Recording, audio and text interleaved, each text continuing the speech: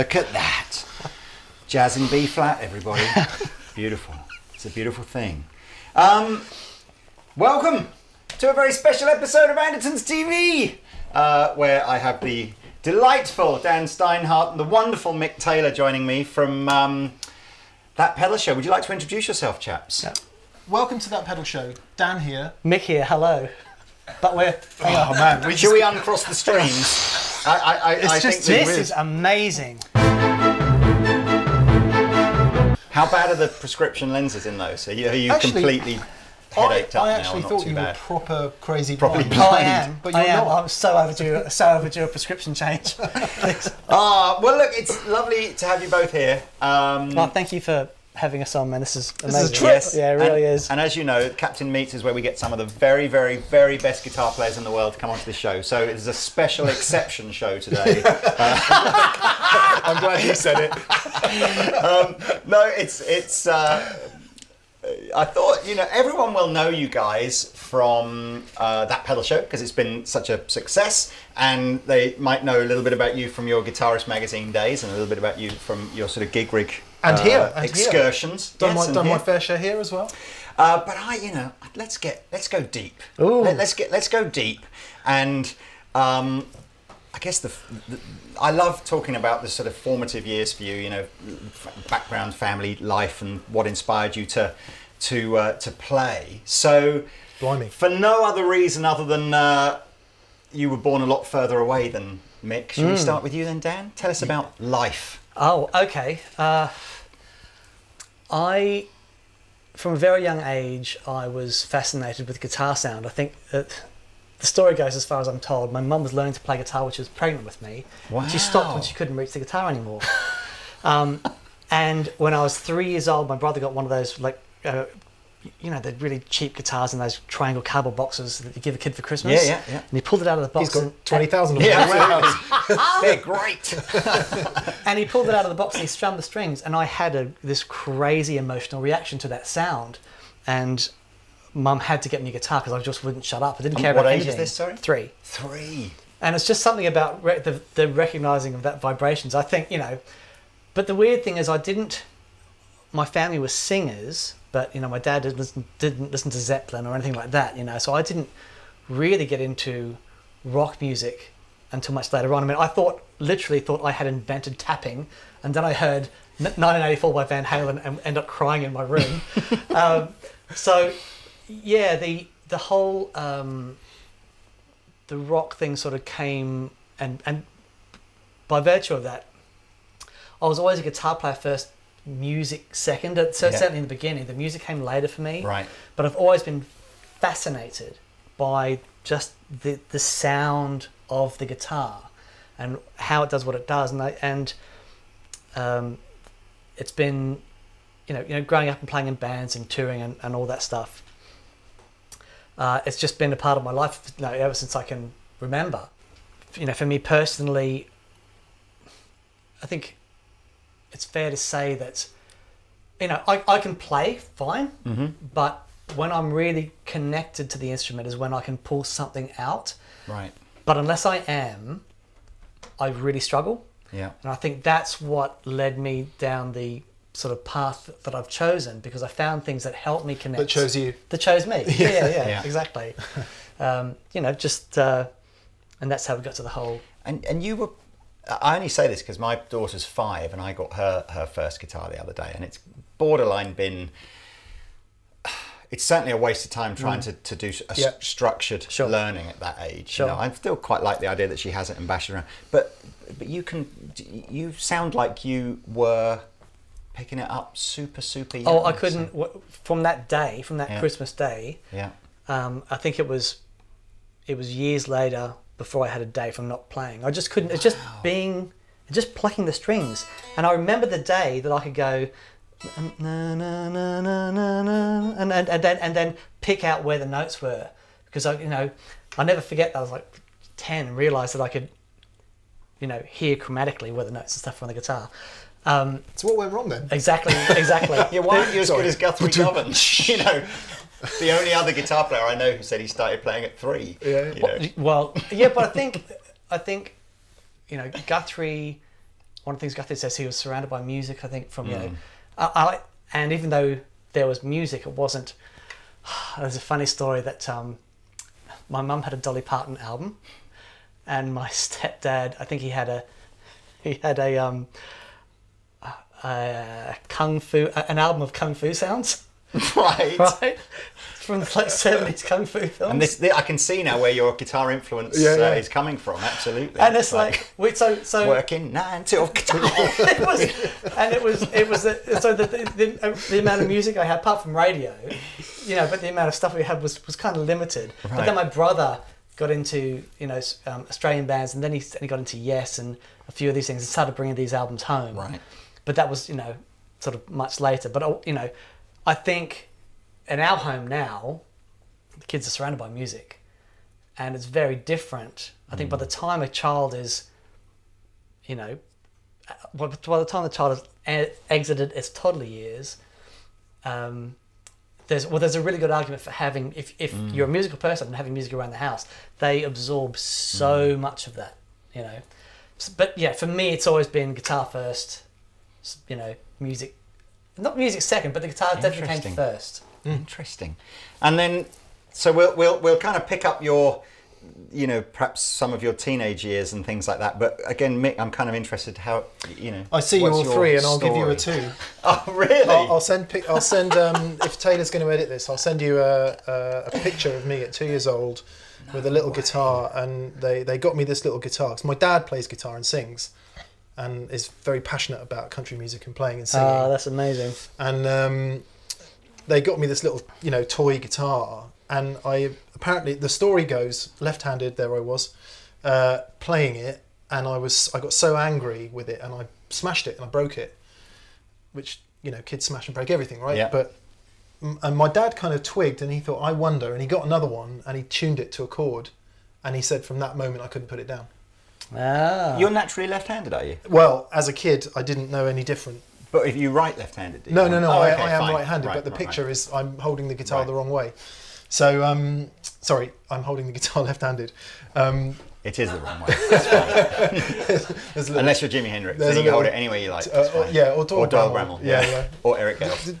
Yeah, yeah. Actually, forget Abe. three of the coolest yeah. people on the planet. Yeah, um, uh, and yeah. So apparently that was that, and then um, it was always around. So my dad always had an acoustic guitar kicking around, and maybe like a hollow body electric. Um, so it the same as Dan. It was that fascination with the sound. Um, and then I don't really remember much. Well, I don't remember. Obviously, I don't remember that. But the next time I really remember engaging with guitar was around about eight years old, because our house was full of country and western music, Mhm. and that's all we listened to. wow. Because my dad is a massive Johnny Cash fan, like Yep. off the scale, you know, proper, full-on syrupy Conway Twitty, Loretta Lynn, Oh, really? proper Hardcore seventies country, Waylon Jennings, you know, Yeah. and, and Zero kung fu albums. no kung fu albums Okay. that I was aware of.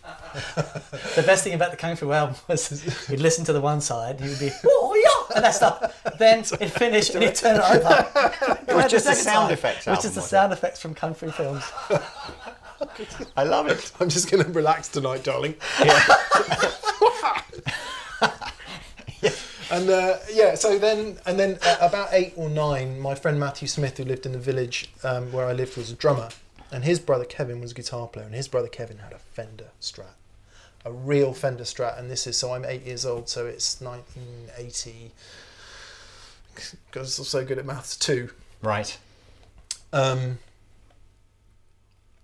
and it, that was like, it was it was literally like seeing something from outer space. And I'm not sure, I'm not sure all you kids today. I'm not sure that anyone who's grown up in the internet age hmm. realizes how rare those things were, because the only place you saw them was on telly. So to actually see one in the flesh was like, Yeah, I, I, I don't know. I think I go. I think it freaks me out even more. My dad tells me stories from when Anderton's opened in the '60s, where if you had one Fender guitar in Right. stock, people would drive from Yeah. 50 miles away to and they were like a year's money the as well, weren't they back then? Yeah, Or I don't, a I year's don't money. know. I don't. Yeah, certainly weeks and weeks, maybe months of money. Yeah. Not Mm. like you know, not like today. You know, where Squier Strat is a day's money or you know Yeah. whatever. Um, So yeah. So anyway, and then to finish that story, my Yeah. mate Matthew and his brother Kevin and his brother Darren had this loft in their house where they could hang out and play music. And we were up there one day, and he had um, Black Sabbath, I think, and maybe Highway to Hell. I don't know what year Highway to Hell came out, so I was that old by Yeah. this time. And I heard that, and I was like, yeah, this is an escape from country music. I need to do this. Yeah. Cue the next Christmas. Next Christmas, I get a KSG copy and one of those K, uh, I don't know if you remember them, plastic amp. Right. It was a plastic framed amp with, Oh. a, with an oval speaker. I d- no, I don't remember those at all. Yeah. An So- actual oval speaker or just like an oval hole for the speaker? No, an oval in? yeah, speaker. I, I remember the oval speakers. And uh, Nice. I'm pretty sure that's what it was. And a KSG co- copy with the bottleneck. Never look back. I was, Awesome. I, I, See, I that- was Angus I, Young. I, I mean, that was going to be my You sort had, sorry, next. an SG copy with the bolt on neck. Yeah. It was your first electric. Yeah. That was mine as well. Really? Yeah. I was 10. It's weird because we share a Kramer in the past as We, well. uh, Kramer Striker. Yeah. Yeah. But that was that was going to be my kind of next question. What, what and you, you kind of answered it with the sort of the Angus Young kind of thing. But who was the, the, the who was the first person that you can actually remember seeing with a guitar in their neck that you just went, okay, everything makes sense now. That's the journey. I Quo to be. and Angus Young for me. Uh, and what about you? Steve Vai. Really? Yeah. Well, you know, I was. Are you? Apologies. Are you younger or older than Mick, or similar age, or I'm older than Mick. so? But Steve Vai is later than. Yeah, Well, I but see, I didn't. But uh, so, putting it in context, I, you know, like I said, I didn't grow up with these guitar heroes around me, and, and you know, and my dad was very religious, and rock music was from the devil. Oh, okay. So I was literally not allowed to listen to that stuff. But it was Kung um, Fu was okay. Kung Fu but- was fine, uh, you know. Uh, Spiritually wholesome. yeah, absolutely. but I remember, um, you know, and you know, I'd hear the radio and, and stuff, and you know, start listening to the albums my brother brought home, and and I heard Flex-Able, right. and so I'd been listening to, I'd been listening to, uh, there was a Yes album that I was, I think, from a very young age, um, harmony had always really piqued an interest in me Yeah. uh, and and I heard Flex-Able, and I thought, this That- is amazing. That's Steve Vai's first solo album. That's because is this pre? This is post Zappa, After Zappa, but the- pre David Lee Roth. Flex-Able. the- the album he made before David Because that's Roth. the one that almost no one will know. You know of Steve Vai, unless I guess you're a hardcore Steve Vai fan. But that, you know, he got massively famous as a guitar hero post David Lee Roth, really, didn't he? As, yeah, you and know, but see, so- Yeah, for Pas- me, Passion and Warfare, it was Mm. it was Eat 'Em and uh, not uh, yeah Eat 'Em and Smile, the the, al- the first album with David Lee Roth. I think has some of the greatest recorded rock guitar tones ever, Right. and some of the most amazing, free, brave guitar playing. I mean, you know that for me, you know everything that I'd wanted to be Mm. was, you know, in Flex-Able and, and Eat 'Em and Smile was just like wow, um, and yeah, and I think, and then I had to work backwards from there. Because I was, I was literally about to say, you've got, you know, Mick's journey is to aspire to be a guitar player that I would have thought, you know, rel- one, you know, if, as long as you can play E, A, and D, all of a hmm. sudden you're going, well, I, I, I could, I, I might sound a bit like a ACDC tune, and it must have been quite sort of not not off-putting. You're not sort of thinking, oh, I'm never going to be able to play like that. But you've gone in at a level where you're absolutely the first few listeners who just. you- How I, d- could I don't know how much you're aware of that before you know anything about playing the guitar. I don't know how much you, how hard you realise that something is Right. or isn't. Maybe. I mean, I, I, I remember when um, Passion and Warfare came out. I, I listened. I was going on a train to Poole, and I was however old I was, sixteen maybe, and I ordered an Ibanez RG550 from the local uh, music store. Waited six months for it to turn up, literally six Amazing. months, and I kept it for four weeks and sent it back because I couldn't keep it in tune. Well, and I had one of the first gems in Australia. Yeah. Well, I had you know one of the first batches that came over, and you know I had um, a, a Roland GP8, you know, you know, one of the Yeah. first multi effects units, because I had assumed at that point that state of the art meant sounded the best. Mm-hmm. You know, I didn't have anything else to judge it by. Um, and as passionate as I was about great guitar sound, I had struggled so much in, in these years to try and get a big guitar sound. Try and you know have But something. you could play exactly like Steve Vai at this point. I, I, I absolutely couldn't. But I, I, I was doing, you know, I was, you know, I walk into a music, if I walk past a music stop, a music store, I'd have to go and grab a guitar off the wall, you know, all that stuff. Yeah. Wah!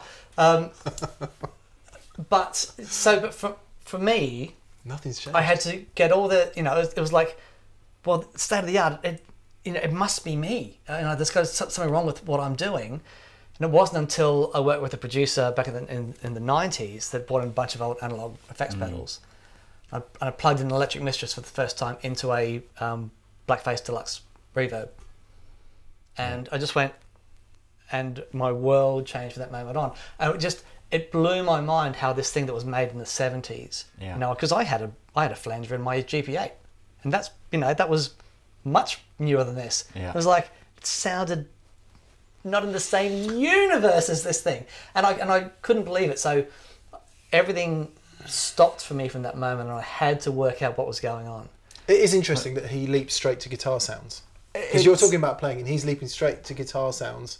But I think But I think yeah, for me because I did, I don't ha- I But have all the reference of those guys. That But it says a lot about the inspiration of why you pick up a guitar and play for you personally, doesn't yeah, it? right. Whereas mm. I think for a lot of other people, it's they hear a they hear a phrase and they want to be able to play that phrase. I tried to play Stevie Ray Vaughan for years. I thought I was really good at Stevie Ray Vaughan. You are really good And at only Stevie Ray now I'm 44 years old do I realise that I was playing it absolutely all wrong, and I still am. So it, there's learning that comes with. Yeah. But I was the same as him. I was more interested in the sound. It was the sound Mm. that that that made me go. I want to do that. Mm. Don't care about the notes. I just want to do the sound. When you walk into a gig, uh, you know, I think for me it's been a while because the gigs I used to go to were loud. It's been a while since I've gone to a really great loud rock gig. But I just remember walking in to see. Um, so, Tommy Emmanuel's brother, Phil Emmanuel, back in the day, who passed away recently. But I, um, I knew the bass player in the band, and I walked in and, and heard this unbelievable guitar sound. It was like it pinned you to the back of the wall. It was like, and I just couldn't help but feel so inspired and, and it was joyous and yeah. That's know, interesting. uh, and you'd go to these venues and you know just remember you know 17 sneaking into clubs um, where there was a live band on. And just specifically would you know to hear the band hear what it sounded like but then to listen to see what was going on with the guitar. And there was you know there's a, a number of bands I would go and see and, and the guitar sound was so good. I'm just going and I was scratching my head going I don't understand how he's getting that you know.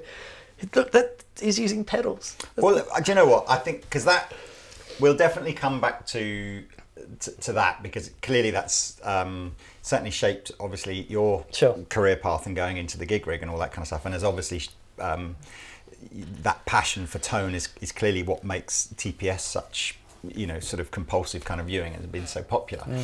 Um, but there, there's that moment. I, I, I'm, I'm interested to know sort of that moment and, and perhaps how you know how it came about and how your family reacted or whatever when you just sort of went right. I know, I'm sure you guys would all love me to go and be a doctor or a dentist or some other, you know, proper career, but I'm just going to do this guitar thing. Uh, you know, especially if your dad was, you know, if it was a very religious sort of uh, upbringing, and you know, was was that like, did, was that like the world's? Did his, you know, was he really disappointed? Was that Um, tough to do? It was. So I was, I started doing gigs when I was 16. And I used to take two guitar cases to school. One had my guitar in and one had all the, my clothes and stuff for the gig. And so I'm sleeping at a, you know, at a friend's house and we'd, you know, then go off and do, you know, gigs in, uh, down the valley in, in Brisbane and stuff. And yeah, it was, um, it was tricky, but you know, so and he passed away when I was 19. Right. But I was I'd started um no, so I hadn't started. It was the year after. I, went to study music at the Conservatorium of Music in, in Queensland. Um, but I think, yeah, my parents had too much going on personally to be really bothered about what was going on with me. I, I, I ought to throw in the caveat as well. I was, I, I shouldn't.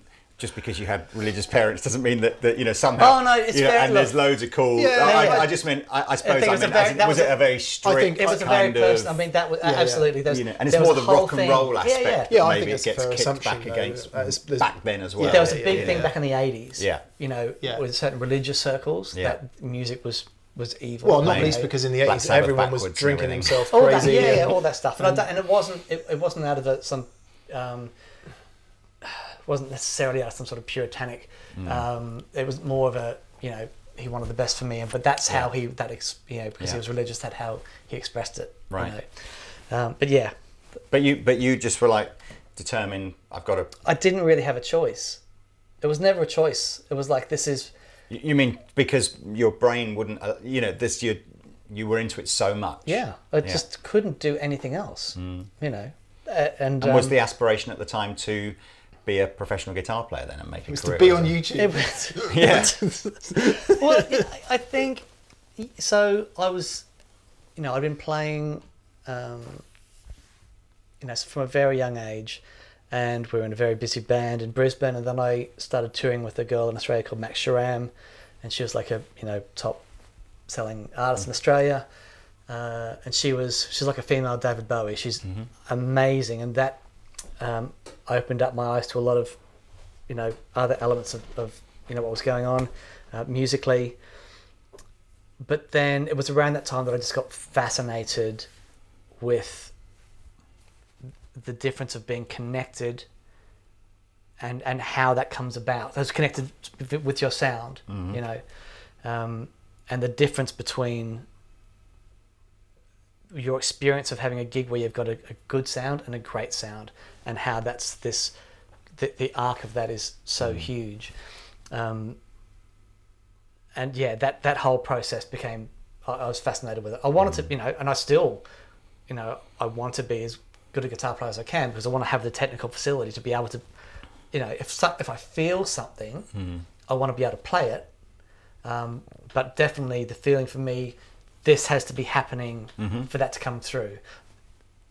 You know, I, I've said this before, and Mick gets a bit embarrassed when I say this, but Mick is Mick has the ability to get tone from basically anything. It's it's remarkable, um, and you know, of course, he has his preferred things. He has you know the Two-Rock and everything that we use in the studio, and he just gets this cr- crazy good sound. But he can basically pick up anything and sound fantastic. It's all in I- the hands now. Listen Yeah, yeah. to the tone coming off these hands. There's, Listen a, there- to it. there's Yeah, a challenge there. But that I can't. That's not me. Yeah. I I've think it's got to different be. approaches. You know, yeah. It's different approaches because the opposite of that is you can sculpt things and get you can sound a, a, a load of different ways, which I can't ever do, and that is frustrating. Right. Is re- anyway, let's not get into that. But Uh, So, was your journey similar? I mean, uh, it, you know, w- w- w- I'm gonna I'm gonna tell a story that is so unrock and roll. I'm not sure it'll be good, but anyway. So I started playing really young, 14, um, out gigging in pubs. I remember my dad picking me up one. Uh, we had this gig in, in in Seaton in Devon, and my dad, bless him, he had this office job and he worked really hard, but he used to drive me everywhere playing gigs. He was he really because he supported me so much and he bought me my first strat and all that, and he just I think he was living slightly vicariously because he wanted to do it. Ah, Yeah. that's Which I think is true of all supportive dads when they're trying to push their kids to do stuff. And he wasn't pushy. He wasn't like unpleasantly whatever. He just he was supportive and he, he drove me everywhere. Anyway, this I. Fourteen double, years doubled old. the audience numbers in some places, did he?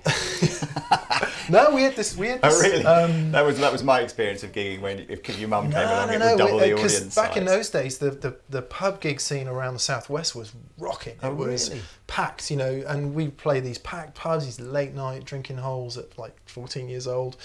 So there I am doing this gig in Seaton,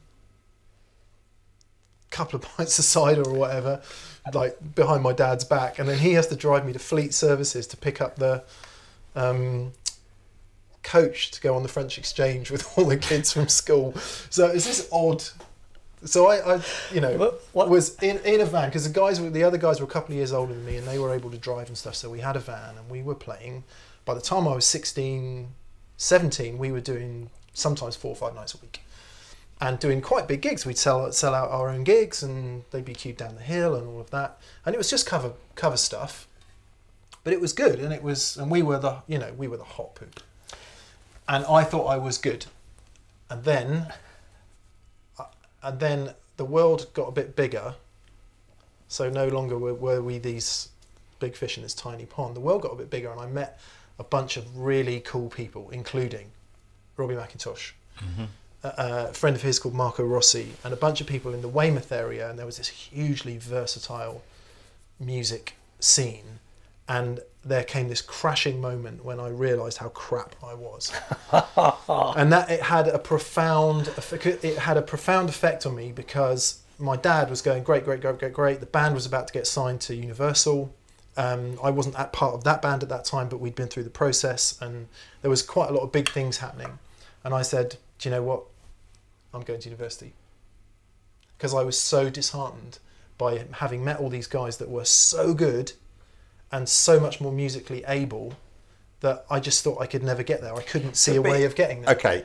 So, so, So, s- sorry, just to, yeah, to, to get to get a positive end on Yeah. that story. I then go through university, fall out of university, straight into Guitarist magazine, and probably fall into the thing that I was always best at in the first place. so ca is it possible for you to look back at that a bit more objectively? I've known Yeah. you for quite a while, a few years, worked with you in a few different capacities, and you are an irritating perfectionist. Dan says this. you know, I, I don't Yeah, yeah. because you're so much better at everything that you do than you ever give yourself credit Well, for. it's it, Yep. you know it's So, uh, can you look back? Is it possible yeah, for you yeah, to oh, look totally. back, back now if and I, go, if I look "Ah, back now, wish-" yeah, and I if I could have just understood a couple different things about how to connect some things in terms of playing and music, obviously 2020 hindsight and all of that. Yeah, absolutely. I would have tried harder. I would have put more effort in. I would have done so many Or things. giving yourself more credit, maybe. Yeah. I mean, do- were you yourself actually- a break? And of course, what Yeah. I realise now is that yes, while while we all aspire to really fantastic musicians, and those guys are fantastic musicians, um, it's not all that matters. Mm. Actually, the difference, and it's, bit, I'll try and keep this brief, but on a sort of philosophical point, the difference between for me an artist and a musician is an artist absolutely means it from their heart and they can't not do it and it doesn't matter how good they are because the thing that they give is compelling because they give themselves and the reason that connects with you as a, an audience member is that you don't care that they can't play their hemi demi semiquavers in the phrygian mode. You don't it doesn't matter. Um, so Pete's laughing because I said phrygian. Um, and a musician is someone who probably aspired to that once, but can do all of those other things. And the connection for me is less. And I never wanted to be a musician. I wanted to be an artist, and I couldn't see a way of of getting that out because all that was coming out was Stevie Ray Vaughan and and the other things that I was obsessed with. And so yeah, I, yeah, maybe I did. I chucked the towel in a bit early. I also saw lots of my mates getting dropped from record labels Yeah, yeah. and owing record companies hundreds of thousands of pounds, and that was like, yeah, I'm just not really into that. Yeah. That's not my thing. You know, not brave, I guess, is the truth. So, I like the way that we're keeping the timeline going here. I'm guessing you're both now sort of early 20s. Not obviously now, now, we're Yep. in, in the story.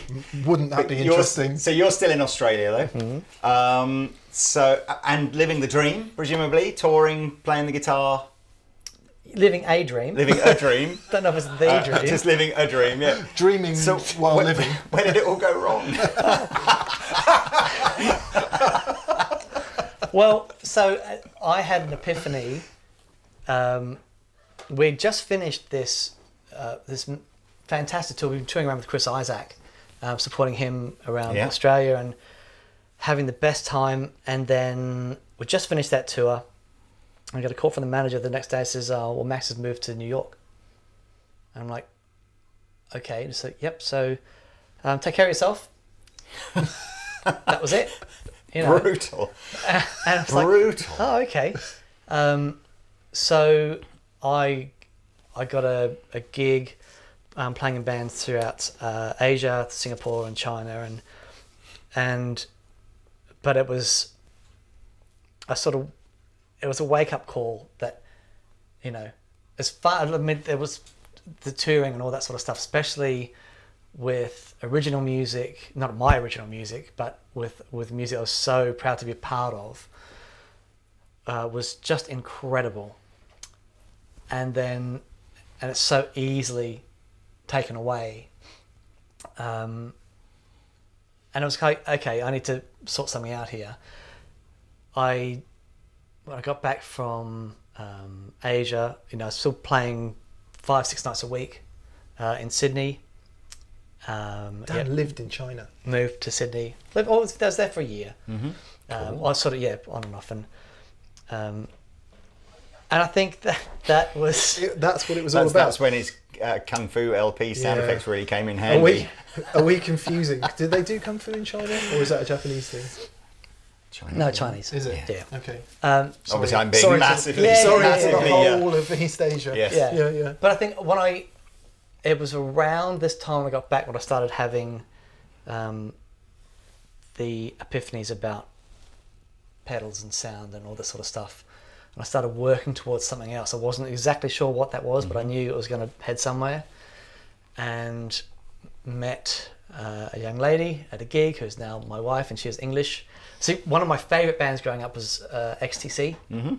And There, there was my wife, and then XTC. so, well, we were playing because XTC were massive in Australia, Yeah. and we are playing a song, and this this girl comes up says, "Well, I know Barry Andrews, the keyboard player, the old keyboard player from XTC, and one of my favorite guitar players ever uh, is uh, Dave Gregory from XTC, and now I play in a band with him because she we ended up moving back to Swindon, which is where he's from. So, so you, you, this is all in China. No, this happened in Sydney. I also met her in Right, Sydney, and we were right, together right. for a couple of years in so Sydney. this Martine's your wife's name. Martine, What, yep. she, what was she doing in Sydney? Just on. She was working uh, in a recruitment agency, Right. Um, an accounting recruitment agency. So yes, ended up back in um, back in Swindon, and I engineered a meetup with Dave Gregory. I'm I'm being called the world's most successful stalker. Um, I so Dave Gregory was a big fan of Matt Schofield, and um, a friend of mine was Matt Schofield's tech, uh, Simon Law. Oh, yeah. And he said, uh, you know, come down. I'm pretty sure Dave's going to be here, and I'll introduce you to him. And he did, and I, and I interviewed Dave for the for the GigRig website years ago, and we've been in a band now for ten years, working on album number three. Uh, Um, do you know what? I'm going to sound awful here. What was an XTC big hit? Making plans Um, for Nigel. Um, Yes. Yeah. S- Senses, Yeah. Work, uh, Senses working overtime, making plans for Nigel. Yeah. Uh, Sergeant Rock. Uh, that there's yeah, they were. It's really funny actually when I. They were such an influential band. Uh, Andy Partridge, the songwriter, um, the one the main songwriter, um, Colin Moulding, the other one.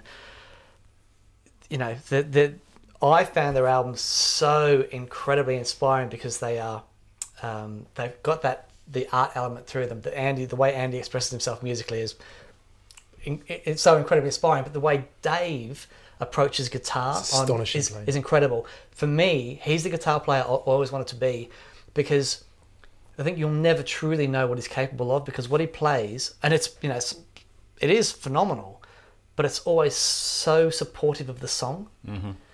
and you know, so it was you know, for me it was Crowded House and XTC. That was like, it's all there.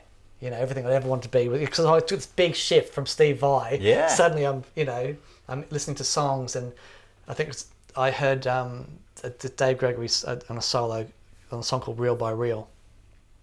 It just blew my mind. It was clean tone, you know, but it was, um, it, but a bit punky and it, there's such attitude behind it. So that was another big turning point for me. Um, and then yeah, so ended up in ended up in Swindon, and you know I was still pl- still playing.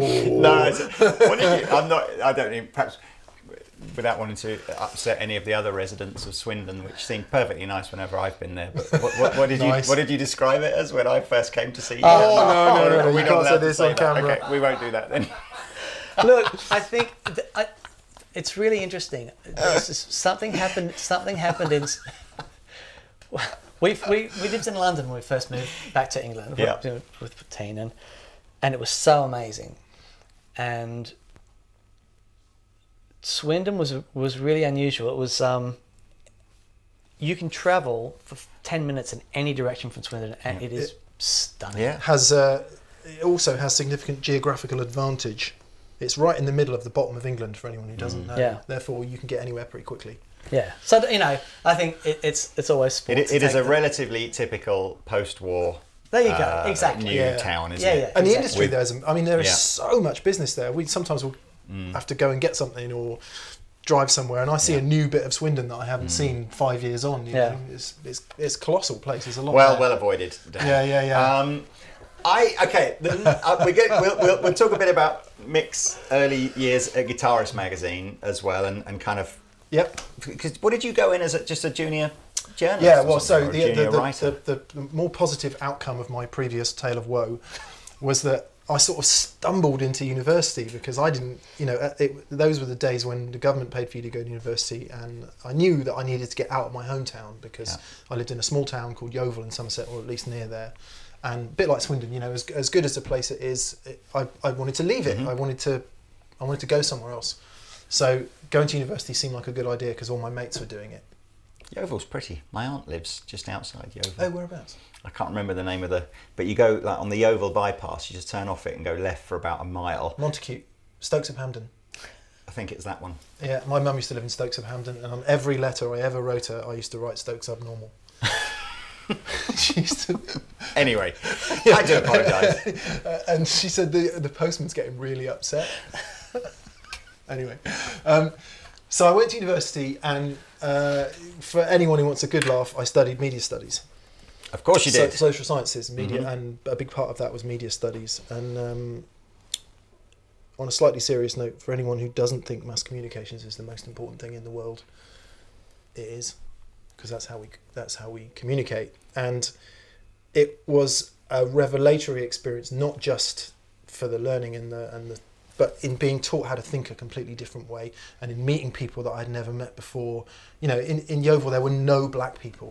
There were it was it was a culturally tiny place, uh, artistically and culturally. So to get out of that and go somewhere else was Mhm. a was a Which university did you go to? I went to London 1st Mhm. I went um, to the uh, university that had the worst grades in the whole league tables, which at that time was called City Poly. Right. Oh, back in the days when we had polys. Yeah, and it Yeah. became London Guildhall University. And I did a year there. It kind of didn't work out for various reasons. And I ended up in Bath, which is also a very kind of nice middle class Beautiful place. place. Beautiful. Anyway, anyway, but it, instead of, you know, for all those people who say, oh, you shouldn't go to university unless you're going to do medicine or accountancy or law or something, cobblers, because Yeah, absolutely. you learn how to be a, a human being when Mhm. you when you spend time learning about stuff. Anyway, and talk- you have to live off 2p. yeah, it Yeah, taught me how to think very differently and and completely by luck. I was about to graduate. I went to work as a temp in Barclays Bank to earn some money. I'd worked at Gap throughout my university to help pay the. I used to manage a stockroom there. You should see the way he folds jeans. It- honestly, Yeah. it's I- unreal. I, can imagine. He's a perfectionist trained gene folder. Yeah, yeah, I do. I do I'm a bit funny about packing. Um, and uh, anyway, sorry, I'll keep this story short. And I'm thinking, what the hell am I going to do in my life? You know, because I'd, I'd applied to every graduate job going. Of course, they don't look at people like me who haven't been to the right school and the right Mhm. university. So trying to get into somewhere like Price Waterhouse or any of the big graduate employers, forget it. And it, I didn't understand that at that time. So I'm feeling very dejected, very kind of, oh God, what the hell am I going to do in my life? Because I literally had no idea. And I think I picked up my copy of Guitarist magazine, to which I was a subscriber, and it said, We're moving, or we have moved. And they moved from Cambridgeshire, Yes. Which is E- 200 miles away. Eli? Ely? yeah, to Bath.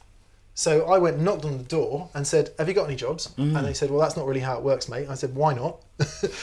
and I got I got to chat with somebody, and it just so happens they were recruiting some people, and completely by chance, totally by chance, he says to me, "What what guitar magazine do you like?" And I said, "I really love Guitarist magazine." And he he like he stepped back and he was like, "What? How old are you?" I said, "22 or whatever it was, 21." He said, "Why don't you like Total Guitar magazine?" I said, "Because it's rubbish." he said, "What do you mean it's rubbish?" I said, "Well, it's just it's written by kids for kids, and all the information in it's wrong, and um, the tabs often wrong, and the gear reviews don't. They obviously don't know anything about gear." Um, and he's like, I, I just can't believe this because at the time, Total Guitar Magazine was their guitar magazine, Yeah. and it was outselling guitarists two to Two one. to one, yeah. So he said, "You need to write me something about this because I'm not sure I believe you." Is it, this is is this Neville or are you? no, no, no. to This is Right, this is senior, one of the yeah, publishers, Yeah, yeah, yeah. Mm-hmm. yeah, This is one of the guy who's doing the recruitment, and he's like, "I don't think I, I, this doesn't make any sense to me." So anyway, I did the thing, get recruited. We go into this group recruitment scheme where we get put around various magazines because you're supposed to learn how to make Mm-hmm. magazines, right? And they didn't want to put me on Guitarist magazine because I knew too much about guitars. Right. They wanted to put me on a magazine that I didn't know anything about, so I could be objective in running a magazine. Oh, right. So you're Yeah. going in fairly They wanted they wanted production people who right. could So you run weren't just going in as a magazines. staff writer then, or No, anything like that? they wanted production okay. people who could run magazines because they had a big problem with that, efficiently, effectively, on budget, well planned, all of that stuff. And anyway, two of my weeks were on guitarist, and Nev, bless him, hello Nev, if you watch this. Uh, Neville was my boss for many years. He said he's not going anywhere. He is staying on this magazine, and there is no way. And they tried to get me off. They were trying to get me off and put me on another mag. Knitting Weekly or what Yeah, the other Whatever. Cross Stitch Monthly. I later learned that Nev had actually Nev had gone out on quite a limb to keep me on guitarist. And then the irony, that, so then many years later, I end up as editor in chief of Guitarist, Total Guitar, um, Guitar Techniques, and all of Futures guitar magazines. So um, See, kids. yeah, and Total Guitar magazine isn't rubbish. It just wasn't for me. It's it's funny because uh, as an as an aside there, I actually still felt that that the guitarist magazine I often used to find was was uh, quite inaccessible Yeah. and was talking about. I wasn't. I used to read issues of Guitarist magazine and go, I don't really want to have a six-page review on some guitar I've never heard of, built by some amazing luthier out in the back and beyond. What I really wanted is, is a quick interview with uh, the bloke from the Foo Fighters, And that's why it Just to outsold of- Guitarist two to yeah, one. just to sort of you know what what pedals is the bloke from the Foo Fighters, and a bit of a tab at the end of and it. it was it was right Yeah. on that cusp of the um, like early to mid '90s Mm. where Oasis blew up and Britpop blew up, and it you know Total Guitar was a big part of Mm. re-guitarizing It's, youth it's- culture in do you Great know? Britain. It did a It's- fantastic job. it, it's this nicely kind of wraps into that whole you know b- b- the back end of the 90s sorry back end of the 80s sorry i just think the guitar uh, every guitar hero was so unbelievably stupidly good whether Yeah. it was steve vai at Yeah, one yeah, end to mark yeah. knopfler at another or, you know Yeah. you couldn't listen to a piece of guitar music without going how on earth does that get played you Yeah. know I, i've got to i've got to, I've got to do this tape, you Yeah. know, so none, no fancy mm. editing. Yeah. You know. Yeah, yeah. But and then I do remember when when a whole mix of whether it was you know Nirvana or Blur or Oasis, you know, all of a sudden this massive and that's that artist versus musician thing. The artist Yeah, kind yeah. of came back. Didn't was they? the anti-culture. and just went boom. yeah, and it had Crappy happened. guitar sound, three guitar chords, loads of songs. and every just Yay. almost exactly the same as when the Beatles hit Yes. America in 1964. Every kid in the country went, "I need to play the guitar." Mm. You know, they they watch Nirvana or they watch Yeah. later Oasis and they go, "I need to play the guitar." And TG And the walls of this store still reverberate with the sound of Wonderwall, no matter how hard we try and scrub it out. it's just like So it's not Smoke on the Water 10 anymore. million renditions of Wonderwall from 1990 or whatever it was that we can I never. bet they all play it in. E as well, don't they? Is it not in E? So there we are. There we are. Dan and I went to uh, Japan a couple of weeks ago with Boss. Short story: We end up in this bar, and it's like Oh yes, maybe I'd forgotten two, about maybe this. three a.m. There's guitars hanging on the wall all around. Dan goes, "Let's do a gig." so we pick up these guitars and we start playing. This guy, oh, do you remember the kung fu dude who came in? Who was like, He was I'm- honestly. he was like going like I've this, got the footage on my. I've got the footage playing on my left-handed, phone. And, And then, then go, he playing right-handed. And anyway, anyway, so Dan starts playing Wonderwall I start playing here. Oh. because Noel plays it capo two. Ah. Yeah. And I'm going, I can't trans. You know, I've been playing a guitar for 30 years. I cannot transpose from E minor to F sharp minor. So uh, anyway, Oh, fair enough. bit of an aside. So what, you- what you can say to your Wonderwall people now is, You're playing it wrong. No one's played Wonderwall in years. F sharp minor. Um, so look, uh, it's, uh, that's kind of when I first met Mick. Was was when he was editor of Guitarist magazine. Always got on well with Mick. But Dan, I've sort of met more recently. So let's fill in the gaps. You know, let's talk about GigRig because Mm-hmm. it's um, you know, I don't want to blow smoke up your own arse or anything like that, but but I kind of, I don't think I ever really understood five or six years ago when I first kind of heard of it. I just, I was just like, this is some niche weird thing that's I don't even know how you're making a living out of it, let alone, you know, the success that it's clearly had for you. And now it, it's just, it's mental, isn't it? I mean, it's just, it's just so popular. But t- so, but but uh, what's super interesting with GigRig is you don't make anything that makes a noise as such, do you? you know, uh, I was so um, enamored with old analog vintage pedals for such a long time, and then when I first started, you know, there are problems when you. I'll, I'll step back a bit. I had my GP8. yeah. Let's, right? let's let's do that, journey. right? And, and I was and I was, and I was always pushing state of the art because in my head it had to be Mm-hmm. the best. One thing about state of the art afforded me was when I was doing all this touring was that I could set up a sound, press one button, and the sound would appear. Yeah. I discovered pedals, the old analog stuff. You know, the first the day after I heard that Electric Mistress, I went down to I think it was Guitar Crazy in Coogee, and I bought a CE1, uh, Phase 90, Electric Mistress, um, and an ordered this this fuzz. Oh, and a, and a, a Tube Screamer, um, which I sold later because I didn't understand it. Uh, but and I was plugging these pedals in, and I think, oh, this is absolutely amazing, lovely sounds. But when I plugged them all in together, there was a difference, fundamental difference in what was reaching the amplifier.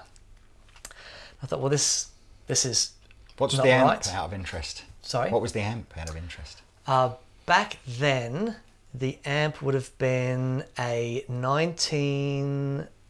It was a JMP 50, Marshall JMP 50, the last of the Marshall non-master volume amplifiers.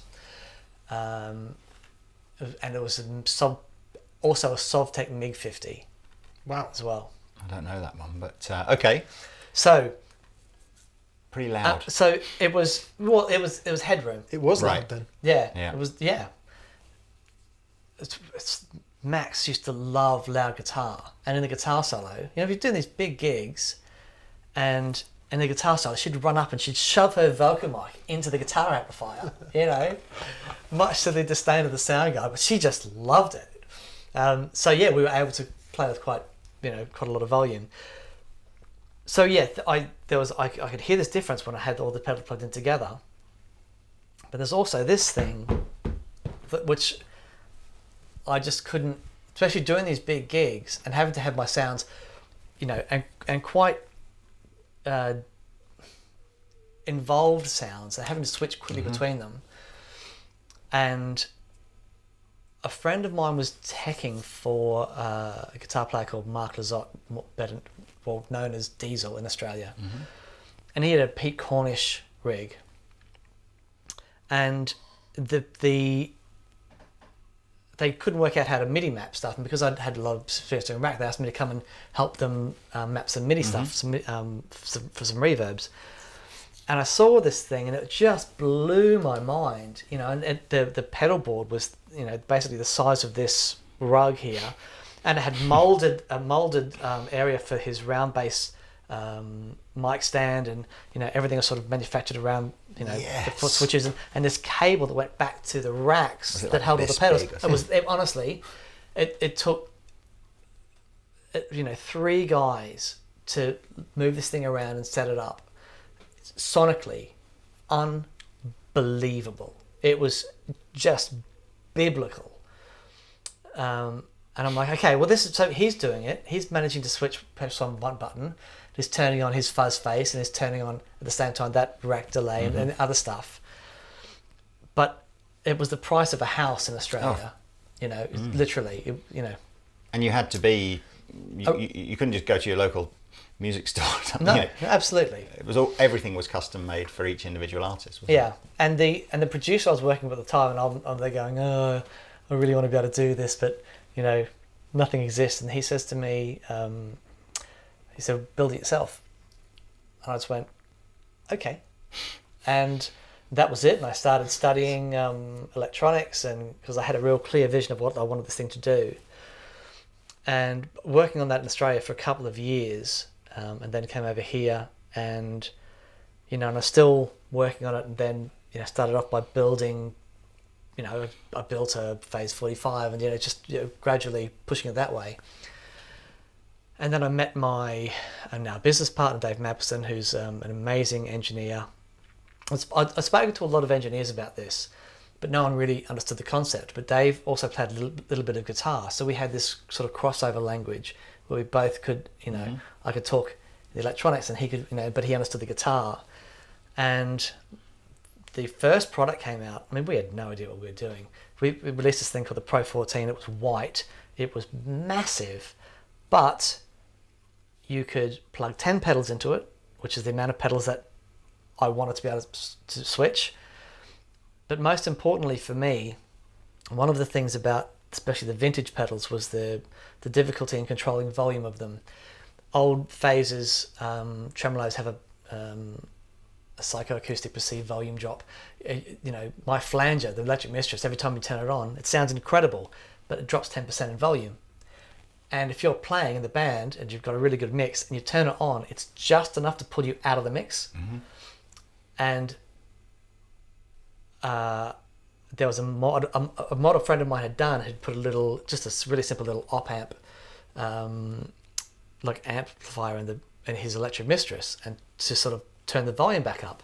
And I went, I want to be able to do that.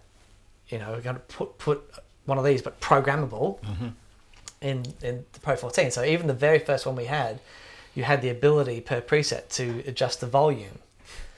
Um, and it was really funny.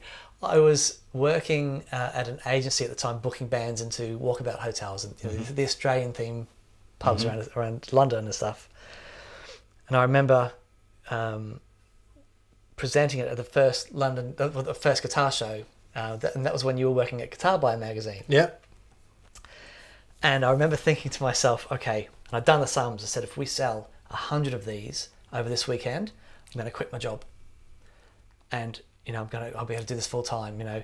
And we'd worked so hard to get everything ready, and and we're so excited. And then, um, the day before the show opened to the public, when I think all the artists were able to walk around, and we had all these people walking around going, "Oh, it's amazing!" Because I had my CE1 and all my vintage pedals, and I'm hitting one thing, I'm going, and and during the show, when there were thousands of people, we were so busy. And it was always five people deep looking at this thing, and I'm going through this and showing them how to switch all the you know, multiple um, combinations of all these pedals, and it was amazing. And at the end of the show, guess how many we'd sold? Oh, I just want. It's like two or something, isn't it? We'd It's sold like- one, Mm. and he pulled out as well before. And- I, I honestly, this is this is the music industry, the land of broken dreams, isn't it? The number of times that you know I've done an event, and you have expectations Yeah, here, yeah. and and it and and you don't just nearly get there. Yeah. You just like, don't, it's like Yeah. you just don't even How do you make a million in the guitar business? start with two. Yeah, there you go. absolutely. Yeah. And I think, but the thing for us is people were fascinated by it, but it was a new concept, and we were having to educate a whole Mm. Yeah. market. It wasn't like we'd produce an overdrive pedal and people Mm. intrinsically knew what it was just by looking at it. You know, I mean, looking back though, presumably it was just like a lot of early uh, new products. I'm guessing the form was too oh, big. it's and the crazy! It was, price just stupid. wrong It was and all- you know, white. It was. It, it looked Yeah. like something from a Star Wars set. Yeah. It did. You know? And so it's a good. It's fundamentally a good idea, but just not executed in a way that connected. with the Absolutely, public, yeah. and I think, and it was we'd had that out for like nine years before the release of G two, but we were very fortunate in there are a couple of guys who really got it, like um, uh, Paul Turner um, and Jamiroquai bassist. the, for, yeah, do you uh, Paul Turner and Rob, uh, the guitar player, Harris. Rob Harris from Jamiroquai. They both saw it and just went, "Oh, this looks Mm-hmm. really cool," and a, a, a gentleman who's become a very dear friend of mine, Mark Johns, who was playing for Ray Davies, uh, Davies Mm-hmm. at the time. Uh, he was our very first ever customer, and he saw it and loved it, and used it for his entire period of time with Ray Davies. And so, little by little, people started Mm. to get the concept. Was Uh, it terribly expensive that initial prototype? Uh, it was seven hundred quid, I think. it was. Okay, It wasn't, so so it wasn't crazy considering for, So, for so what it it was did. probably more the form that was perhaps. Well, it was it was the fact that you you looked at it and you didn't really understand what it was about, you know, and it was, and that's when I started to get into videos. Uh, I, I thought I, I've got to find a way. I can't just write stuff and expect people to read it. I've got to find a way of getting this through, and that's when I started doing my first ever videos. Um, but then, uh, sorry, so another guitar player who's also a very dear friend of mine, um, wonderful producer Paul Stacey, and I ended up building the rig for him when he was touring with the Finn Brothers, and that's when I got got to meet Neil and you know, big day. Um, and I saw it on stage at the Albert Hall with Neil Finn, you know, and Paul playing guitar, and and he was bless him, Paul. You know, he's such an astonishing musician, and he was very critical of, of certain things. You know, Right. which was ended up being amazing. It was so helpful, and you know, and all, but and so what happened was in that nine years of having this, you know, out there, all of that went, all that experience went into his- what is now G two, um, and then when that came out, it was sort of it's, that was the big turning point for us as a business, and we've suddenly. I mean, it's just a, it's. I think it's you know it's always inspiring to hear from any sort of entrepreneur that's taken a punt on something. But I, I guess going back at that, yeah, you know, it, turning up at a guitar show, you'd probably invested hundreds of hours, thousands of pounds into getting there. You know, it's expensive to Ah. exhibit there. It's heartbreaking when that initially doesn't go as well. But you obviously persevered, um, and you know you're reaping the rewards of it now, and and and so you should. But it, what else do you think? You know, do, do you feel that something there's been a fundamental shift in the sort of guitar playing? I, I, I ca- I can see why digital products mm-hmm. from the 80s and 90s people turn their back on that. You know, Yep. I mean, I, I remember, I do remember in, in a sales capacity here, just every year, products became more and more sold on the features of them. Yes. It's, it's got more effects, Yes, yes. more memories, Yeah. Mm-hmm. more patches, more stuff. Remember the Digitech 2112? Yeah, Was and the ART, whatever Yeah. it was. Maybe it was the ART 21s, but whatever. When they went to two units. Two units, yeah, And, and- just- oh, wow, yeah. and it was like, oh wow, twice as powerful, blah blah blah. And the elephant in the room was, I suppose, and still sounds pretty terrible. And that was, was exactly Um, where I was. yeah. I was so caught up in that state of the art must sound Yeah. better. But the, so anyway, so then of course pedals have a huge resurgence, yep. and then of course GigRig, I suppose, and you know, and, and GigRig inspired other. Uh, better known brands to sort of you know go oh, the switching market Mm-hmm. seems to be a thing to be in now so you know da da da Every Coke needs a Um, Pepsi. yeah um, and And actually, that's a, that's, that is a serious comment because, you know, uh, rising it tide lifts all ships. Absolutely, you know, Yeah, yeah, Boss, yeah. Boss doing ES8 Yeah. or Yeah. ES5 Well, the funny- validates the gig funniest story it? about that is Mm. that that was basically the start of of um, okay. But long story short, Mick War had just finished working at the Guitarist magazine. Mm-hmm. I was over in at NAMM, and Mick was saying, "I'm thinking about coming over, but I don't have anywhere to stay." I said, "Well, come and stay with me. I've got you know, a big." I've left my room." job. He I'm totally broke. yeah, but Can he- I share your hotel room? Was actually Yeah. the, the question. That Yeah. was and it's, yeah, so by all means and and because I've been talking to Mick about you know how how's it possible that I can How did you meet them? Because we're not even well really. I thought well, when the first the Pro 14 when it Mm. was when I got it reviewed because I'd been reading Guitar Buy magazine Dan walks That into Guitar and I Buy and walked says, "Look at this." look at this and it was and it And was I'm Mick. like, I didn't think Guitar Buyer was a future title. no, it wasn't. So I you left. left. Future, Yeah, yeah, yeah. Yeah. gone to Guitar Buyer, and then what? Then back to Back to Future or Guitarist, yeah. something? Right. Okay. Yeah. Fine. Yeah. So that's the. The goal was always editor of guitarist, Right, and I right, had right. to Ah, go away see, to you come had an back, opportunity to be basically. a editor of Guitar Yeah, Buyer, yeah, and then yeah. right. So And- sorry. So you and, met. and, and yeah, so I met Mick there, and he said, "Oh, you're really into vintage pedals," and I said, "Yes," and he said, "Oh, do you fancy writing a column for the magazine?" Um, which I did. I wrote that. I wrote um, a column called Porn Stars, Mm-hmm. um, basically right up till the magazine folded. Um, uh, long after I left, by the way. long after, long after me left. just just to make that clear. But Mick had got me doing some interviews. He got me, uh, you know, he knew I was a massive police fan, and Mick got me to interview Andy Summers and uh, when he's over at Guitarist magazine. Mm-hmm. So, and we'd been, you know, we'd stayed friends, and Mick had borrowed, you know, some gear for Mm-hmm. to do stuff for the show for Guitarist magazine. And Mick was one of the first per- people I spoke to about when G2 was coming out. So I went and saw him and said, "Look, we're doing this. What do you think?" And you know, he was really helpful. And so he's always been. What Dan means is I barely understood it. Because one interesting thing about G2 and about the GigRig in general is you can read all the stuff that you want to read. You can go on the website, you can do all of that, you can watch all the demos, but until you actually sit and use it and hear it, it doesn't make any sense. And at that point, the penny drops. And Mm. it took me to that point, which you're probably getting to. Well, yeah. So to talk about the the what happened with the ES8. So when Mick was over, we'd been already talking about ways that you know Mick could help me. You know, because I was a guitar player, and I and and I had this vision for this product that I knew would help. But as far as marketing and all this sort of stuff, I had zero idea.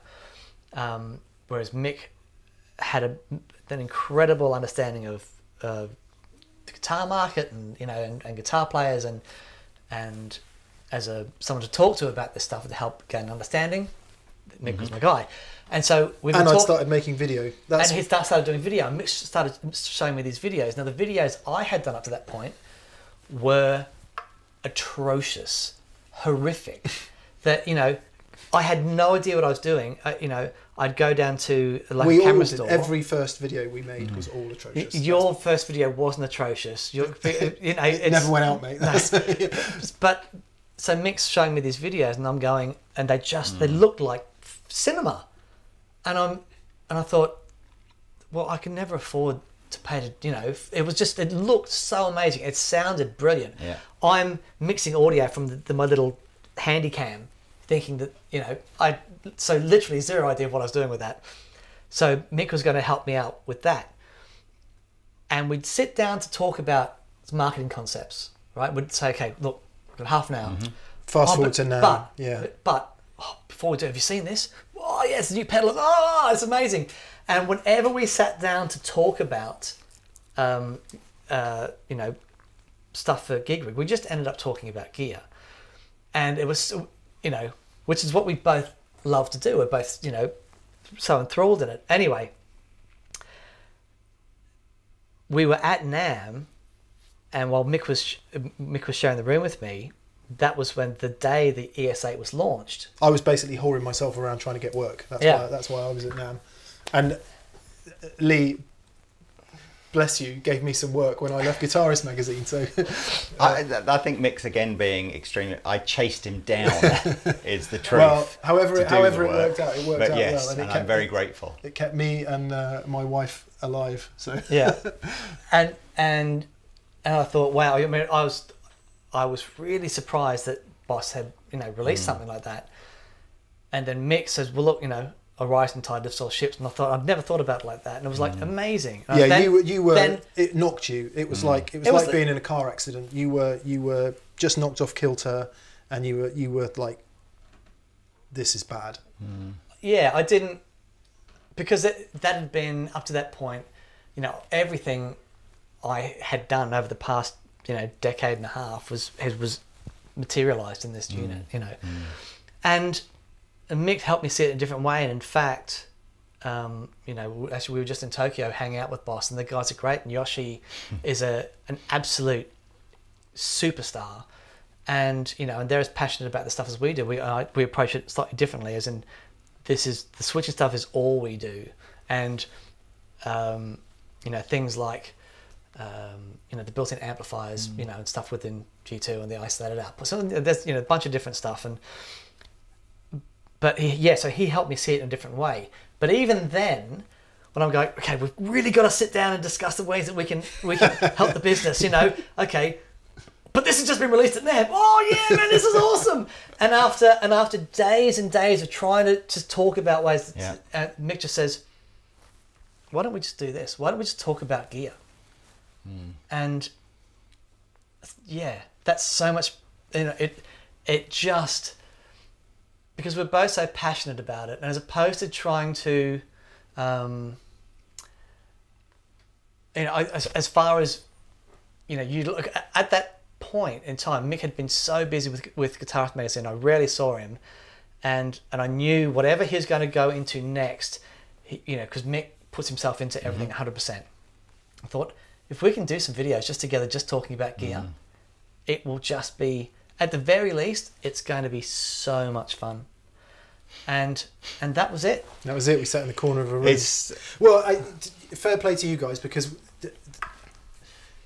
one of the reasons I, I left guitarist was because I was watching print media get less and less and hmm. less relevant, and we we put a lot of effort into trying to make video, and the company wasn't really interested in video, uh, and so while that's all happening, I'm watching you and Rob and Andy Pro Guitar Shop, um, Gear Man Dude. Um, I'm watching all these, all you lot go be, be absolutely 100% relevant to what people wanted at that time. While we're there spending God knows how much money trying to get this magazine out that nobody wants anymore, here's some guys just talking together on, on YouTube, having a laugh, Yeah. hanging out like two friends would be chatting down the pub. So it Yeah. wasn't an original idea when we said, why don't we hang around and, and sit on YouTube and talk about it? You know, we were directly essentially copying what you were doing and what um, other other people were doing on online. So it was but you just can see the jumping on. You can see the the the thread through. I think all or most of the the successful the YouTube channels that seem to have struck a chord and, and engaged. Fundamentally, it is not about production quality or it- it is about Mm. It's a nice it is have. it is about um, the realness of it. Yep. You know, people, two people who really love the stuff Yeah. and obviously know a bit about it as well, which obviously helps, and enjoy each other's company. So you get a bit of, you know, it feels very natural and comfortable to watch. Um, Well, I think right across all forms of media, there was a kind of a coming together of producers and, mm. and audience where, you know, it, we used to get criticised at guitarists for being in our ivory towers and talking down to people. Mm. It was absolutely true. We totally did because we mm. thought we were experts. And actually, what dawned on, on me very quickly as the internet came came around was, you know, there's some guy in Bumhole, Idaho, who who knows more about Telecaster bridge pickups than anybody else on the planet. Yeah. And he's got 5,000 pages on a website about mm. Telecaster bridge pickups. So there's nothing that I can ever write about Tele bridge pickups in Guitarist magazine that is any more definitive than that.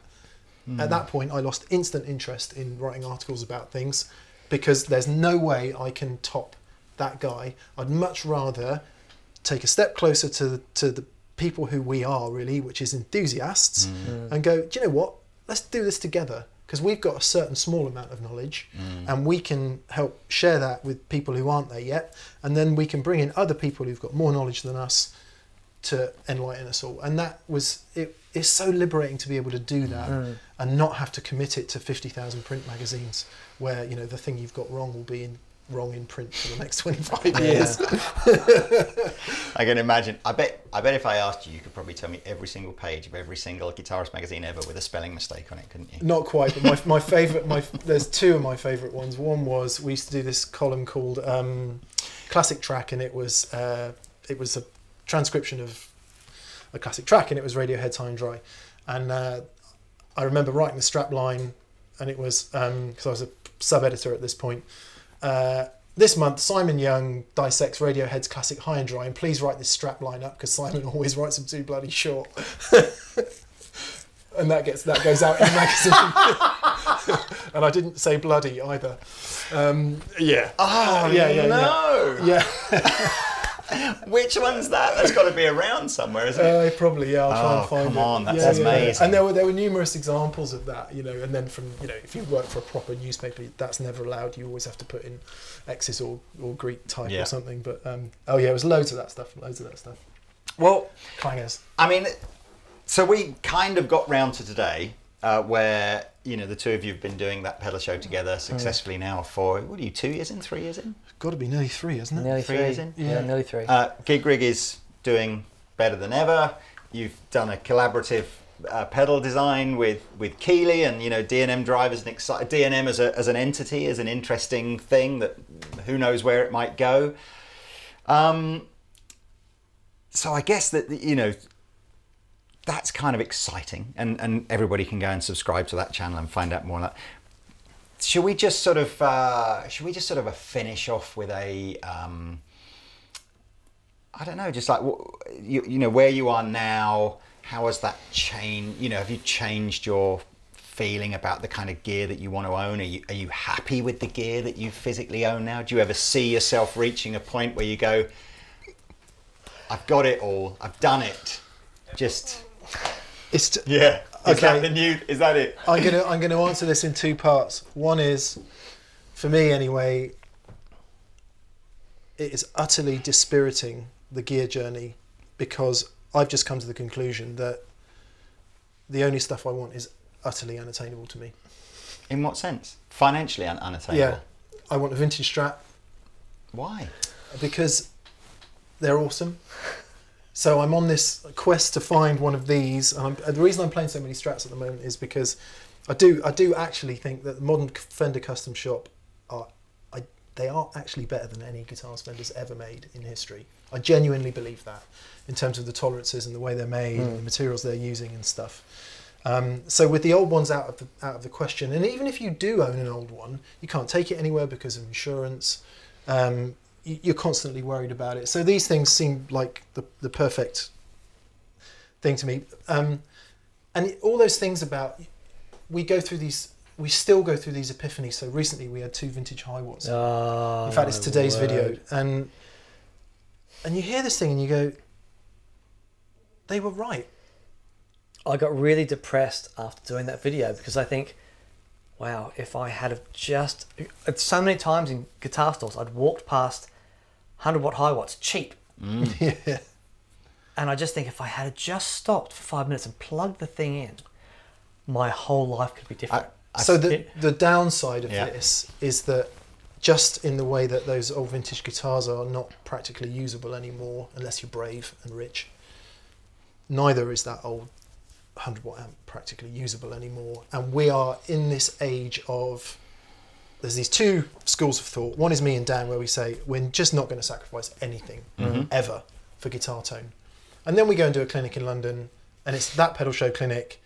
The sound guy's like, nah, that's way too loud, mate. And Dan's like having a nervous breakdown, going, well, I actually can't hear it. Well, you need to get some in ears and come off the desk. And and at that point, it's like that's that's too We've got hundreds of people. that's too far the other way. you know, who sat there waiting for us, and I'm going, I literally, I'm playing from memory, n- not hearing a note. and that's too and- far the other way. Yeah, yeah. right because there's no rock there's no rock and roll in that that's Yeah. not a that's not an interesting experience for the audience all that is is trying to sound like a record and i to, to be serious for one second i do think that that whole silent stage thing is the death of rock and roll i think it's nailing nailing nails in the coffin of rock and roll it's making it a heritage pursuit which is fine because music needs to go on but i don't i'm not interested in, in that i'm interested in rock and roll. So i i, I think we've got all these people over here going digital's great and it's really brilliant. And then we've got dan and i going no it's not. It's totally rubbish. Cle- clearly neither one of those points is probably right. So uh, so to, to actually answer your question what's the goal? Are you happy with your gear? I am but i, I think there is this there's this future for all of us which incorporates modern technology and it sounds good too sorry Yeah. i've, I've totally, what- and- totally hogged that answer No, No, no, I mean, it's it, it, it, it- I mean, it's the fact that the, the chemistry between you two so good. Is it because you share much the same view, or, or We've we've had so much of the uh, experience now being in the room and being affected by what's coming out of the amplifiers. You know, we uh, we did an episode where we're looking at um, vintage Binson Echorecs. i'm was- laughing because they just mm. don't exist do they i mean they mm. And but then the sounds we were, I mean, it was noisy, and, and you hear you know, and it's like, and then the sound that was coming out, and yeah, we're just laughing, going, "This is so amazing." yeah And we've had so many of these moments on the mm. show. Going back from that now is just is not Yeah. a possibility. Um, you know, I've I'm at that point now where, you know, I've done the, you know, I've done two thousand gigs on this guitar, mm-hmm. and you know, a lot of them have been really good. A lot of them have been shocking. But I'm at that point now where, okay, I'm not playing five nights a week anymore. You know, i we might do, you know, a gig a month. Every gig I play now has to, you know, has to matter. As far as I'm not just mm-hmm. going to turn up I haven't got a, much time left. Let me just get this Hotel California out once more. but you know what I mean. It's like I've got there's, there's a finite number of gigs I'm going to do now. Yeah. and I'm going to make sure that every single one of them, I'm, you know, my sound is going to, I'm, I'm going to be connected with that, and you know we've got to find a way to make that work within a context that works with an audience. Um, so, you know, we've been so fortunate to have uh, you know met people like uh, Analog Man and um, you know. Um, Robert Keeley and all these all these people who are absolutely at the pinnacle of their game and creating some stellar gear that you know it, when you if that's the sort of thing that you connect with you can absolutely make glorious sounds with. And so we're in that position where um, you know we can you know through this stuff express something um, but yeah so th- uh, back to what Mick said it's just now working out a way to do that mm. that's that's Do, you- do you think? crazy Do you think you guys are trying to? Do you think you guys are trying to sort of convince digital people that they're wrong? not at all not at No. all Because I don't. I. I, I Because that would be an accusation that would get thrown at you, I guess, isn't yeah, it? well, That when you when like- you express a preference for something, mm. what you're immediately saying is that I don't like this other thing. So if you support mm. football team A, football team B supporter thinks you're wrong because he likes this other thing, right? And so there's no there's no wrong. One of the things we always say on the show is there are no answers, only better questions. So anyone that's saying is digital better than analog, that is that's the wrong wrong question. question. The right question is what's the appropriate uh, outlet for this? And so what I would say to anyone who is digital native who has never experienced that visceral analog tube amp experience is at least try it because I think what a lot of people say to Dan and I is well you know you don't give this stuff a chance it's like well don't forget that for 20 years I engaged critically with every single new product that mm. came out pretty much and every year line 6 said to me this year it really does sound like valves yeah, every single year, right? So I so last year at NAMM for just for a joke, I said, but that's what you said last year. and twenty years ago. Yeah. So is it when when is it actually going to sound like valves? And I think we're I I Hmm. honestly think we're all moving on a bit, and we're going. Do you know what the purpose isn't? The purpose isn't really And- to and- sound like valves well, and, anymore. and contextually, sometimes it does. You know, it, you tell me how many songs that you're listening to on albums that have been produced in the last five years. You tell me which ones are the valve amplifiers and which ones are the digital. and that is that you the just- exact. You couldn't do it. That is the exact You point. So couldn't do what it. Dan was saying earlier about being in the room and that visceral experience, Mm. I need that to Yeah. feel happy and Yeah. creative. And I know that I play better Mm. and I feel better, and it may well be completely in my brain, but I know I feel better, I play better, I feel more creative, and I come up with better art to sound really, Mm. really Yeah, yeah. dodgy about it um, in that environment. However, when it comes to, I don't know, recording certain live Hmm. situations, you know, at that point, that's where technology enables you to to do a Hmm. job. It, Yeah. There's a function at that point. Yeah. So I think there's a split between creativity and functionality, Hmm. and everyone sits in a different place um, on it. So I, I, all I would say to digital natives is try it and experience it because then you really know. One thing that that that I sort of put my head in my hands in is when I read a comment somewhere that says, "Oh yeah, I don't like Hiwatts. I've got one modelled in my Kemper and it sounds rubbish." it's like, well, you've never heard a Hiwatt because a high yeah. watt punches you in the gut and in the chest and makes you feel slightly sick. yeah yeah So that, that's that doesn't sound like a very nice experience, Yeah. but it's part of the visceral, the other, physical the, experience. The other side of that as well, um, for me, I'm really into the concept of it something being touched by the hand of the artist. I mean, you go to the Louvre and you're The the, the Louvre. Oh, right. He said I, I, in his very. Sorry. If you didn't, because you know Dan's accent spoke like I. I I suddenly, I, yeah, I heard. Did you? I was touched by the hand, of, an artist, in a loo. You go to the and, and, and, I, and, I was I was like, fine. You're going to those kind of toilets, are you? Well, good for you. I could see uh, it now. Yes. So sorry. You need to be touched by. No, no, the, you no, want to be touched No, by no, the so- hand no. metaphysically, So, metaphorically. I, I'm the idea. So if you're at the Louvre, okay, Which is an art gallery it's an art in gallery Paris. in Paris, and the queue to see the Mona Lisa, which is this, you know, Mm-hmm. and then you go outside, and then there's a poster of the Mona Lisa. It looks exactly the same, Mm. but there's this thing about, you know, the romantic notion of, you know, that's the thing that's touched by the, the hand of the artist. My 1961 AC30. I plug into that thing, and there's I have this reverence for this amplifier because it's this was, you know, '61. This is when it was all happening, and I turned that thing up, and that's the sound. Yeah, yeah. Now, there are lots of other things that say, well, we can sound just like that. It's like, no, but that's that's the sound. I've already got it. Mm. I'm not interested in something that might sound like it. The, the you know, the guys who are making the amplifiers that change the world made this one, and. And whether that's just a psychological thing, even if it is a psychological thing, It still that's enough. Yeah, yeah, yeah. That's enough for me. Uh, for anyone commenting now, the the Mona Lisa is a fake. You're slightly missing the point. Yeah, well, look.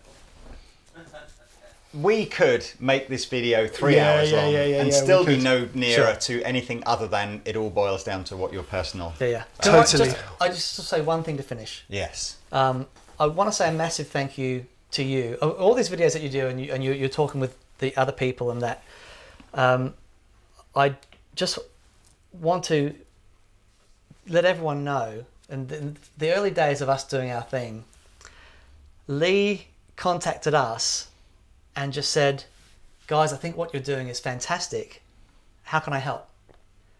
And we're so grateful for that, and it's it really it it means a lot. You know, it's I love this thing that we're the, the, you know we've done uh, things with other YouTubers and everyone's friends and there's, you know, it's not a competition thing. Everyone Yeah, gets yeah, yeah, along yeah. and and I think you recognised that early on. It's like you know what you, I really like what you guys are doing, and you came on the show sort of um, early early doors, and it was brilliant. So I just wanted to say a massive thank you. Ditto. Yeah, Well, from us. that's- That's very very cool. It's uh, as you say. It's um, I don't know whether or not YouTube Land will, s- you know, I guess inevitably as more people enter it, and it, you know, perhaps it becomes a little bit more crowded. It will become, by its very nature, a bit more competitive. But certainly, the, the ten odd years that I've been doing it, it's been a very uh, or, or largely friendly place with you Yeah, know yeah. with, with everybody very supportive of what everybody else is trying to do and which, which is great but i always i said i always think you know to be to have the sort of success that that that you've had on you know and and, and that we've had i suppose as well it has to be genuine Absolutely. you know Yeah, yeah, yeah. and it, it can't be because you think it might earn you some money Yeah. you know it has Yeah. to it has to fundamentally at the beginning be We are hoping that that might be the No. case one day. But oh, and, it, and, it, and, it, and I'd be lying if I said it. Well, it's- Yeah, you no, know, no, no, look, I- I'm- it- I'm there being a- facetious. it, it's you know that there is, you know, it has it does have a commercial Yeah, yeah, uh, yeah. Value now, whether it's on GigRig sales or or or um, income or merch sales. Yeah, yeah, through- yeah. You know, it's like Yeah. we are all now making a living. Well- to some degree or another out of this, but yeah, somebody's if- got to pay for the champagne, Lee. Let's yes, but, but it's fundamentally if the day one was the conversation where I'd sat down with Rob or you'd sat down with Yeah. uh, each other and gone, right, No way. How do we get to making five thousand a month out of making video? Oh, No, no, no. I it mean, would have been like it's a, it's it's just first year of first year of TPS, it was funded by being able to sit in the in the back of the GigRig and film there for free, Yeah, yeah. and our time and our collection of Yeah. stuff. Yeah, because it's Oh, wow. not, uh, you know, just to just to create that point, it's it's totally separate from GigRig, but it was just something that we had this. Mm. We're, there's such a strong shared interest. It's like, well, let's just do this. And, We can sit in the you back of your sit- office and make yeah, the yeah. videos. It's like Yeah, I've got some yeah. room here. This is where I've been making totally crap videos for a Yeah. while. Let's try and make something decent in here. Yeah. And you know, that's where it started. well, People look, with girls banging on the walls, going, "Shut keep the up!" noise you know. down. Yeah, yeah. So No, I- is that a DC two? my, my guess is that nobody watching this video won't have at least seen some of your videos. But if you're not familiar with that pedal show, TPS as it refers to it, um, it genuinely is one of the one of the the only utterly uh, independent, unbiased. Uh, well, as biased, obviously, Not from commercially these two- biased. Yeah, not commer- You know, Totally so, biased so in terms you of can, and they straps. do they do get some really cool and unusual kind of a lot of the boutiquey kind of pedals is a very cool and you know they're and they're very honestly compared um and I, and I have to be honest with you again I should be thanking you because quite regularly when you go wow this is the best insert pedal type thing that we've heard in ages sales go like this um and and so you know it's all good anyway look Yeah. um, I don't know in which order these videos will come out, but uh, Dan has very kindly uh, agreed to wire up my pedal board. So we're going to go and have some lunch and then do that afterwards. So in that video, we're probably going to talk a little bit more about some of the actual gig riggy things that they make. But uh, anyway, I don't know how long you've been watching this for. It feels like this is potentially a big one. But thank you so much for you guys coming in. Thank you so much. And good Thanks, luck with everything in the future Pete, too. Cheers, Taylor. Thanks, uh, guys. Uh, and thank you for watching, and we shall see you soon on Anderton's TV.